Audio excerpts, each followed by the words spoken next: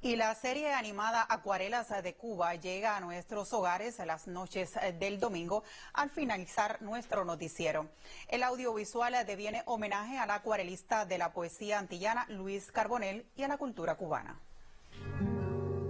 Que así es mi suelo cubano la serie de animación Acuarelas de Cuba recrea escenas de la vida cotidiana con un fino humor criollo.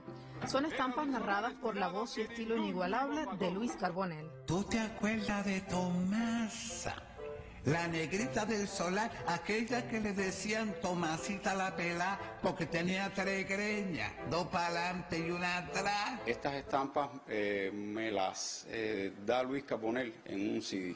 Al, al ver el desempeño que yo tengo con un histórico que yo le presenté sobre el niño Valdés, él, me dedica un, disco y entonces yo me empiezo a estudiar estas estampas y empiezo a, encontrarme con estampas que son muy potables para llevar al, al, mundo del animado. Y hice una, selección de las estampas que tuvieran, que tocaran fibra en la vida cotidiana del cubano. Eh, por ejemplo, el niño Valdés, que es la mujer que lleva el peso fuerte del hogar.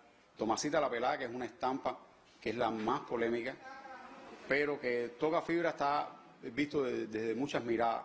Está eh, los 15 de Florita, que toda madre quiere celebrar los 15 a su hija por encima de todas las necesidades económicas y todo. Esos son estampas muy cubanas. Tomasita la pelá. En una primera temporada se transmitirán siete estampas, mientras las seis restantes se encuentran en proceso de color, limpieza de líneas, composición y edición. Yo quisiera destacar el trabajo de los animadores porque fue un trabajo eh, muy complejo, porque casi siempre eh, yo estaba acostumbrado o se estaba acostumbrado a trabajar en un estudio con todas estas condiciones de donde tienes cerca a los animadores. La COVID nos, eh, nos impuso momentos difíciles estrategias de trabajo complejas. Ya está colando café. Tiene un aroma especial. El lenguaje propio del dibujo animado confiere frescura y contemporaneidad a la obra. Cuentan sus realizadores que tanto el diseño de los personajes como el guion se erigieron sobre la base de una acuciosa investigación. Y se creó un equipo multidisciplinario, un equipo que trabajó y que investigó en profundidad la obra del maestro. En el caso nuestro de los asesores que trabajamos en equipo, eh, nos concentramos en cuidar que el protagonismo lo tuviera Luis Carbonell, la voz de Luis Carbonell fuera eh, la imagen protagonista de, eh, de, la serie. En la serie se utilizaron grabaciones de Carbonell realizadas en los años 50 y 60, por lo cual fue necesario un arduo trabajo de restauración del sonido. Perdóneme a la vieja, pero ¿sabe lo que pasa? No nos gusta molestar. Hay eh, bandas sonoras originales está la voz de Omar Aportuondo y Elena Burke, eh, y hay música que yo fabriqué en virtud de lo que me estaba dando en imágenes Jesús Rubio. Donde más nos detuvimos desde el punto de vista de sonido fue en la restauración vocal para que se entendiera bien lo que decía.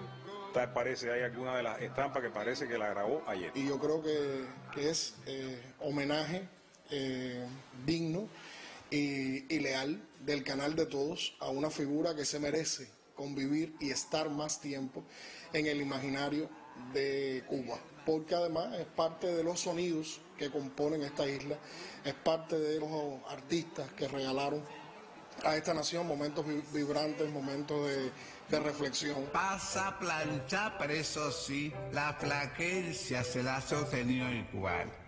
En este retrato social que nos presenta Acuarelas de Cuba, el público ha podido reconocerse, reflexionar y sonreír. Es esta una obra de gran valor artístico que nos devuelve al presente y atesora para las futuras generaciones la voz cálida y multicolor de un artista excepcional que dibujó a Cuba y a su cultura desde la poesía. Esther Díaz Pérez, Sistema Informativo de la Televisión Cubana. bien, mi Ooh.